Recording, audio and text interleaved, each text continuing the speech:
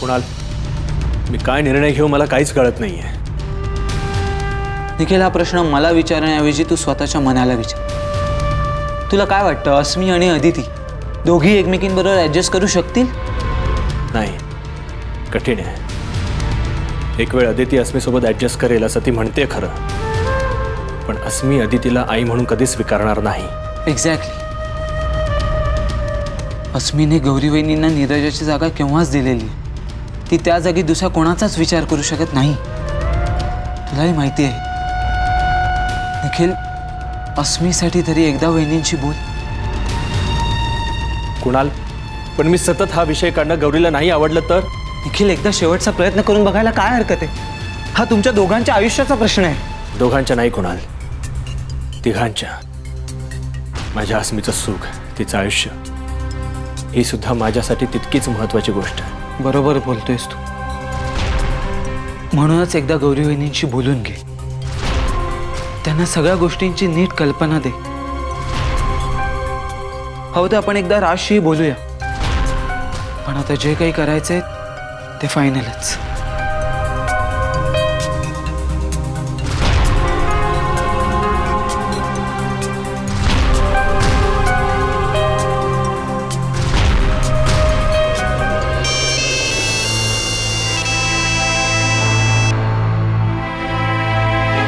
Hello. Gauri. Nikhil मी तुम्हाला सांगितलं होतं ना. आपलं आता फोनवर बोलणं योग्य नाही आहे मग तुम्ही का फ़ोन केलात मला? हे बघ गौरी हा फ़ोन माझ्याकडून शेवटचा असेल असं समज हवं तर. पण मला तुला भेटायचं आहे. निखिल पण प्लीज़ गौरी नाही म्हणू नकोस. पण प्लीज़ मला एकदाच भेट. मी तुला भेटायला येतोय. बाय.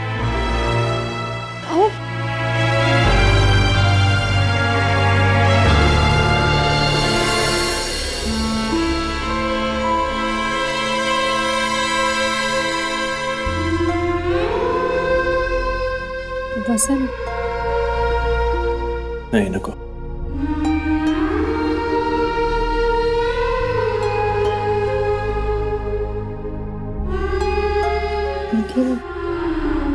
काय बोलायचं आहे तुम्हाला? गौरी बऱ्याच वर्षानंतर भेटून आपल्यामध्ये व्यवस्थित बोलणं झालं नाही. आणि म्हणून मी आज मोकळ्या मनाने तुझ्याशी बोलेन, असं ठरवणं झालं आहे.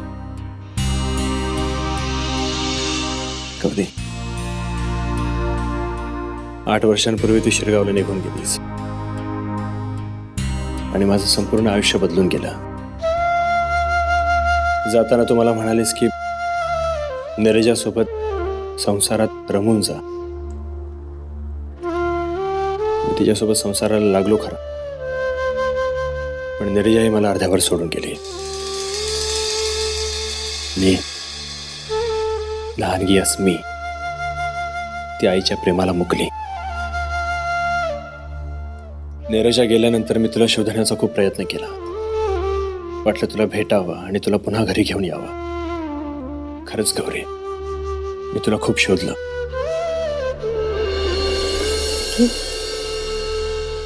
हा सगळा भूतकाळ आता खूप मागे पडलाय हम्म. मला भेटली नाहीस. आणि मी माझ्या मनाची समजूत घातली की तुम्हाला पुन्हा कधीच भेटणार नाहीस. अशीच काही वर्ष लोटली. आणि मग निर्जानेही जाता जाता अस्मीसाठी चिठ्ठीतही तीच इच्छा व्यक्त केली होती. आणि योगायोगाने तू समोर आलीस. अस्मीने आईसाठी हट्ट केला. आणि म्हणून मामाने अदितीला पसंत केली. पण मी खरंच सांगतो गौरी आजही मी या नात्याला राज़ी नाहीये. पण निखिल जर मी तुम्हाला भेटले नसते तर तुम्ही अदितीशी लग्न केलंच असतं ना? माहित नाही.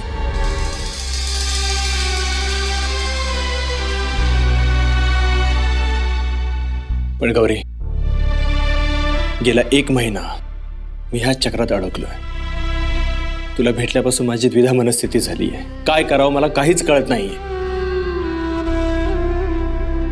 निखिल आता आपले मार्ग वेगळे आहेत. हे तेवढं सोपं नाहीये गौरी. गौरी आपलं लग्न झालं होतं. आपण एकमेकांवर प्रेम करत होतो. ही गोष्ट मी कधीच विसरू शकणार नाही.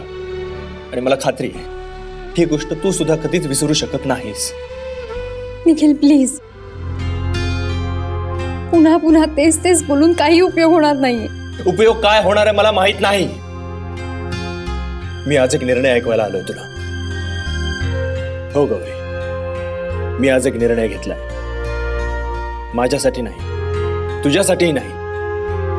अस्मीसाठी आपण पुन्हा एकत्र येऊया. निखिल काय बोलताय तुम्ही गौरी प्लीज़ नाही म्हणू नकोस गौरी अस्मीच्या आईची जागा फक्त तूच घेऊ शकतेस. दुसरं कोणी घेऊ शकत नाही ती जागा. गौरी प्लीज़ आम्ही तुझ्याशिवाय नाही जगू शकत. मला तुझी गरज आहे गौरी. प्लीज़ नाही म्हणू नकोस आमच्या आयुष्यात परत ये. अस्मी तुझ्यासाठी किती तळमळते बघतेस ना तू. प्लीज़ आमच्या परत प्लीज़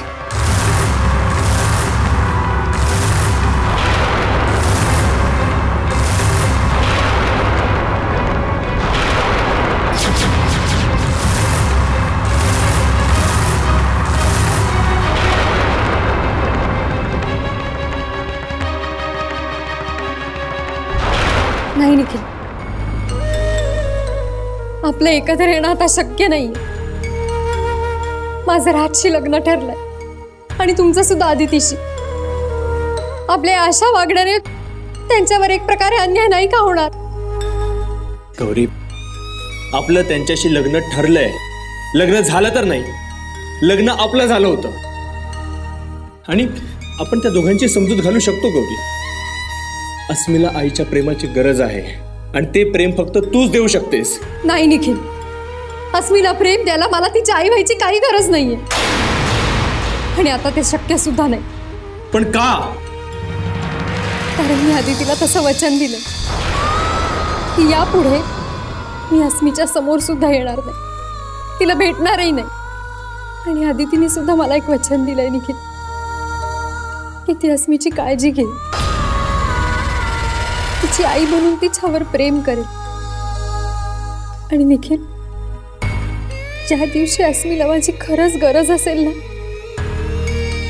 त्यावेळेला तिची आंटी बनून मी नक्की तिथे हजर असेल. गौरी हे काय बोलतेस तू? हो निखिल. आपल्या लग्नाचा विचार मनातून काढून टाका. आणि प्लीज़ या विषयावर पुन्हा बोलू नका. दुसऱ्याच गोष्टीची काळजी वाटते.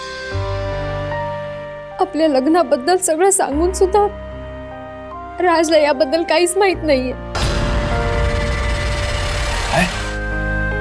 हो. मी त्यांना चिठ्ठी लिहिली होती.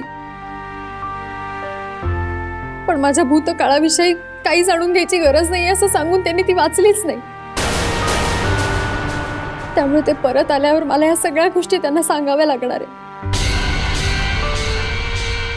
कदाचित हे सगळं ऐकून ते लग्न मोडतील.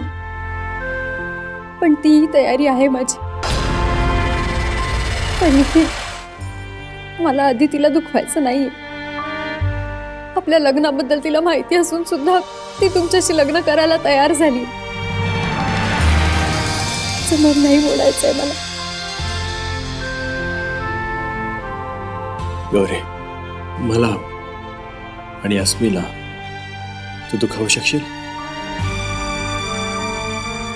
माझा नाईलाज आहे.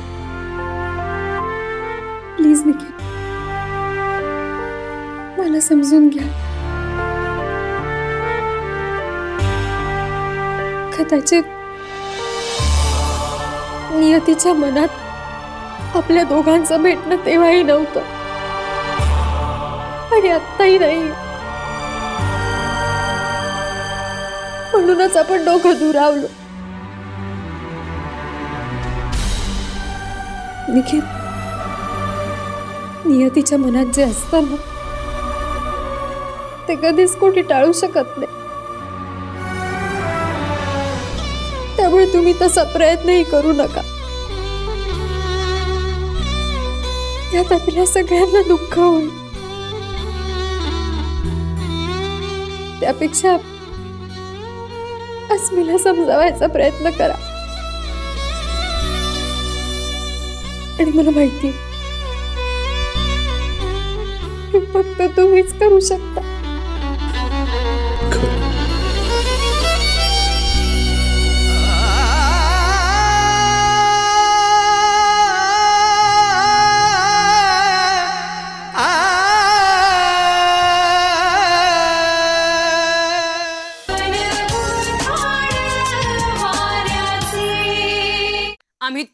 आणि तुमच्या परिवाराच्या मनोरंजनाची जबाबदारी तुम्ही घर बसल्या युट्यूब चॅनल आणि हो सबस्क्राईब करायला विसरू नका.